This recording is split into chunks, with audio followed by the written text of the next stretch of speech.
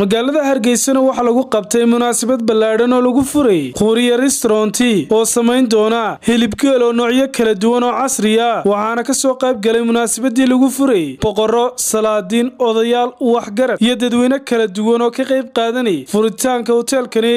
Inta ay socotay munaasabadani waxaa laga jeeday hadallo kala duwan oo la xidhiidha hoteelkani iyo noocyada kala duwan uu samayn doona hilibgeela iyadoo ay tilmaameen in dadkuna ay soo dalban karaan hilibka noocyadiisa kala duwan geela ee uu sameeyo hoteelkani xubnihii kala duwanaa ee ka hadlay halkaasi ayaa tilmaamay. Waxaana intii ay socotay munaasabadda furitaankani halkaasi lagu qabtay. Munaasabad ducaa oo lagu furaya hoteelkani sidoo kalena waxaa lagu arkay geel dhex taagtaagan hoteelkani wuxuu samayn doonaa cunto casriya. Cunto casriyuu samayn doonaa oo hilibkii u casriyeeyo oo uu moofeeyo oo awrkaa inaga dambeeya iyo qaar la mida uu qalo markaa waxa weeye ciddii doonaysa inay halkan hodheelkan wuxuu noo sheegay. Hodheelkan ciddii doonaysa inay wax ka cunto waa inay dalab soo samaysataa. Maalinta hore ay soo dalbataa dabadeedna dalabkaa ay soo samaysatay. Hadday dib u dhacdo iyo hadday wakhtigeedii ku soo beegantoba waxooda loo hayo maaha waa kama dambaystii sidaa nabaddo uu sheegay xildhibaanku hore u sheegay ninka dalbanaya waa inuu toddobaad soo waraystaa helmaayadii waxaa ninkani sameeyey wax la arkayba maaha halkaa deg dega loogu yimaado laga warayo cunto dhadhan badan oo macaan macaan macaan oo aanan weli anigu ku arag hilibgeelayaal hore oo sidaa wax u dhammeeya oo kii moofada ahaa iyo kii shiillaa iyo kii kale. Intaba isugu jira ayaannu halkan ku aragnaa.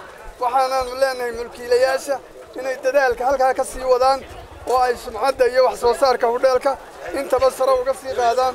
Ayaannu ku soo hambalyaynaynaa kuna dhiirinaynaa. Dadka haddii ay baydankeeda leeyahay kasta markay dalabka u doonayaan ay wakhtigay dalabka doonayaan ka hor ay soo qortaan. Waxa ay u baahan yihiin iyo dalabkooda ay soo qortaan. Baannu ku hambalyaynaynaa oo wakhtiga loo qabanayo ay ogaadaan. Ilaahay waxaan ka baryayaa inuu barakeeyaa oo bogcad laga macaasho oo tacab fara badan laga helo labada daaroodba lagaga macaasho ilahay inuu ka yeelaa.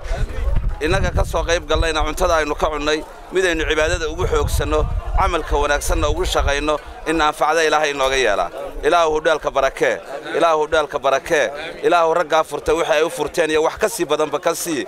Dhammaan ka soo qaybgalayaasha waxaan leeyahay aad baa u mahadsantihi halkan ka furnay hudheel wanaagsan oo casriya oo hudheelkii koowaada kii labaadna wuxuu ka firaya halkaas suuqa hoose. Waxaannu dadweynaha reer hargeysa ugu bishaaraynaynaa waxaannu maanta tusnay iyo wax ka wanaagsan inaannu u tayayno. Waxaanaannu dadweynaha ka rajaynaynaa. Inay dee ma garanaysaa iyaguna noo soo camiri doonaan. Waxaan leeyahay aad iyo aad bay u mahadsan yihiin.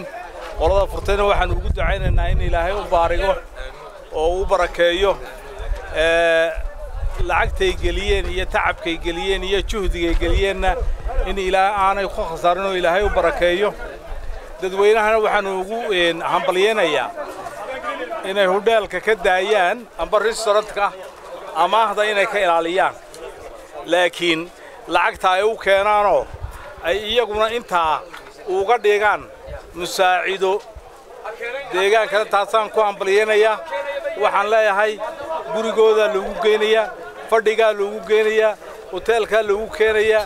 Waxaan leeyahay ku soo dhowaada aad iyo aad baad u mahadsantihiin aad baan ugu barakaynannaa wax lagu farxa weeye wixii horumar keenaya amba dadka horumarka samaynaya in la taageero oo lagu taageero horumarka oo lagu taageero waxa wanaagsan ay keeneen oo la dhiirigeliyo oo laga ilaaliyo dhibaatada oo laga ilaaliyo amaahda oo laga ilaaliyo nagu sii qorta. Aad baan ugu hambalyaynaya dadweynahana ismaan axmed ismaan star t hargeysa